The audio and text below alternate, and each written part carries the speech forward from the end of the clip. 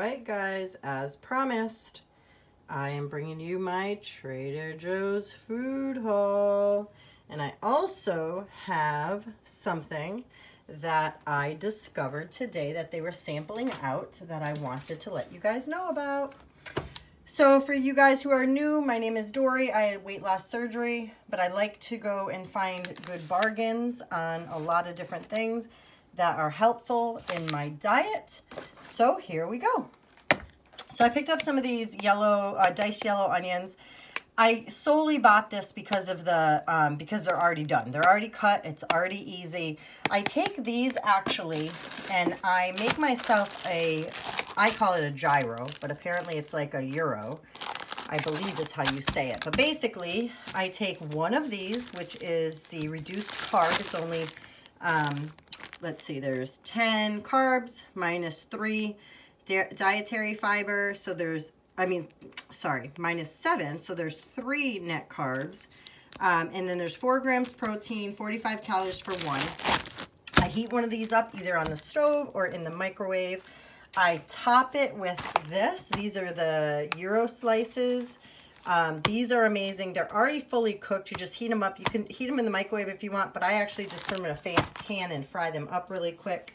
So for two ounces, which is approximately two strips, I believe, it's 16 grams of fat.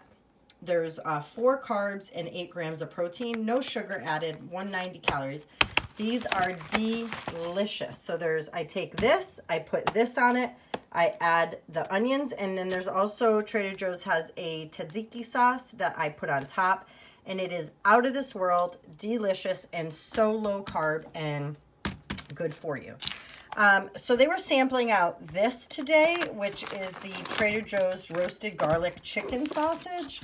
And on here, it's one link, link is 110 calories, 6 grams of fat, 3 carbs, and 11 grams of protein. But what they did was they cut up one of these links and they made it with this. This is rice cauliflower stir fry and it has green peas, red peppers, grilled corn, tamari, um, spring onions, sesame oil, and ginger. Um, the stats on this is pretty good. I mean, there's, it's, a serving size is a whole cup, which is 50 calories, 2 grams of fat, seven carbs minus two fiber, which so it's five grams of carbs and two protein. So if you take even a half a cup of this, that's only three and a half, what did I say? So it's, it's, so it's five grams, half, so it's only two and a half grams of carbs for half a cup.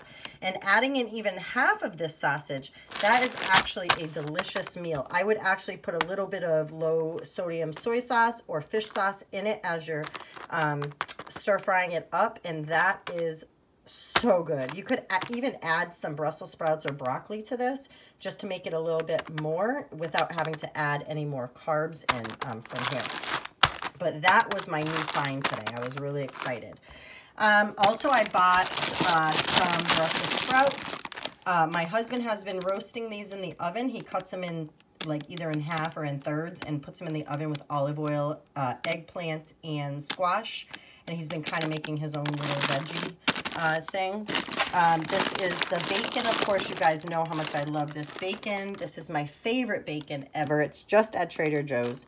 Uncured, no nitrates, nitrates added, no preservatives, you know, raised without hormones and all that stuff. I love it. And it actually has really even better stats than some of the other bacon. It only has um, two slices of bacon is 60 calories. So one slice is only 30 calories, which is amazing. Two grams of protein per slice.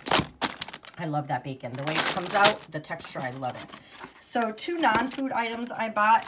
So you guys know in the past, I have told you about this. This is the lavender salt scrub. I love this. I use it like every other shower that I have every other day. I love it. It, it exfoliates. It made, makes your skin feel soft. I love, love, love it. I love the smell. And then this I discovered um, probably about two months ago and I just ran out but it's Trader Joe's uh, moisturizing hand cream. And this goes on your hands and it's not like sticky, it absorbs well, but it leaves your hands really, really soft. So I really love this. Um, let's see. Yeah, it doesn't look like there's anything um, bad on it at all, as if anything bad is really at Trader Joe's. Let's all be serious. Um, this is also something new I tried uh, that I bought today that I've never tried before. My friend was with me and she loves this. So this is the oolong tea. She said she heats hers up or she drinks it on ice. Um, and so for eight ounces, there's, so that would be half of this. Um, there's only nothing in it. How do you like that? There's only 10 milligrams of sodium. Nothing else is in here. It's just plain tea. I love that because during, um, before I break my fast, if I just, or between meals after I've broken my fast, or broken my fast, I would have some tea, and I usually have hot tea because it's still kind of chilly here. And then, um, but, you know, I could have this on ice as well. I'm sure it's probably really, really good. So I can't wait to try that. Um, and then, of course, you guys know I always get my pork belly. I love this. It is fully cooked. I throw it in a pan. I crisp it all up. I eat half to three quarters of this every time I get it. I love it. I also fry it up for my husband. I, I used to be really stingy and only keep it for myself, but I try to really be nice now, and I let him have some too.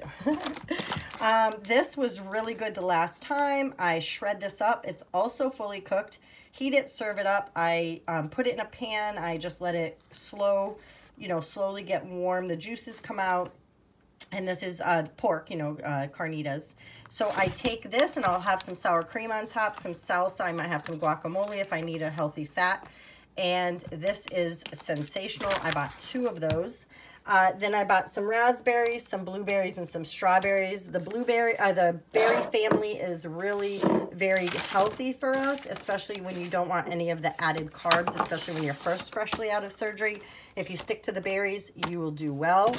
Um, I also got some more broccoli. I have been making beef and broccoli. It is the most easiest thing I've ever done, any recipe, uh, hands down. And I have perfected it to where my husband can't even tell, he said, if it was from a Chinese restaurant or not, because it tastes so good. I think he told me that. Maybe Maybe I dreamt that. I don't know if he told me that or not, but I think it's sensational, and he has said he loves it. So basically, I take whatever cut of, of a steak I'm going to do. I fry it in a pan nice and slow like I normally do. I set it aside. I add a little bit of onions in that, um, in that um, whatever, meat juice or whatever I've just cooked it in. Then I add this in. I cover it. I let it saute for a little while until it's almost um, soft. And then I go ahead and put in about two tablespoons of uh, the low sodium soy sauce and about one and a half tablespoons or so of the fish sauce. And that is it. That is all I put on that. When we eat it, we put sriracha sauce on top and it is so, so good. Then I bought some uh, pasture-raised eggs. Um, we go through eggs a lot. I picked up some bay leaves only because I remembered while I was there to get some. I would normally buy a bigger jar, but these are fine. I usually use two bay leaves and about uh, two tablespoons of vinegar when I boil shrimp. And then last but not least, I picked up Power Crunch Bars. I love having something every once in a while that is, um, that like helps my sweet tooth, kind of to get control of it.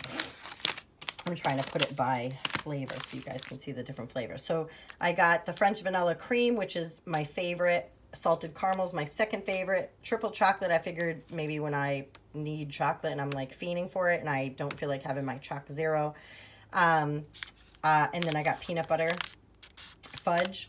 So basically, I bought these two reasons. One is the people over at Keto Connect recently did a video on what the best uh, uh, power bars are and what the worst are and kind of went from the avoid category, which is do not even have it, to a meh category, to good, to best, amazing, and these were uh, under amazing. Um, they're not the, the best as far as stats. So basically the stats on this is it's one bar is 200 calories, 13 grams of fat, uh, seven net carbs, five added sugars, and 14 grams protein. Now, normally, I would say that is not really good, but they made a lot of good points in their video. One of which is, once you have this, this crushes your sweet tooth. As But if you have a Quest bar, which Quest was like a yuck, eh, if I have to eat it category, um, But they said if they have a Quest bar, they are fiending for something all day long. They really have not squashed that sweet tooth craving. With these, it squashes every single time. And it's not a horrible thing because of what where the ingredients come from as far as the added sugar and the, you know, net carbs. It is 13 grams of protein. Some are 14 grams of protein. Um, I think a couple of them may be higher in or lower in. Let's see, this one's 9 grams carbs. This one's only 7. I think this was 7. Let's see. Yeah, 7. This one has 8 see, the triple chocolate has nine. So they vary in the net carb, but hey, if I am fiending for something and I could do damage by having something else, I'll grab this because I'm not going to do damage. And since I'm so super low carbs anyways, if I'm going to be at like three grams carbs and I'm going to add eight, you know, I'm only going to have 11 for the day. So I'm not really worried about them. Plus I use Ibotta and I'm going to actually put a link down below. You guys could click it. Ibotta is just an app all you do is find the things that the companies will pay you money to buy and then you scan your receipt in. That's it. And they pay you. I've already made uh, almost $30 in the last two weeks just normally buying all this stuff. Sometimes they they pay you just to go shopping and, you know, they give you 20 cents, 40 cents, 50 cents each one of these that you buy. You just scan them in.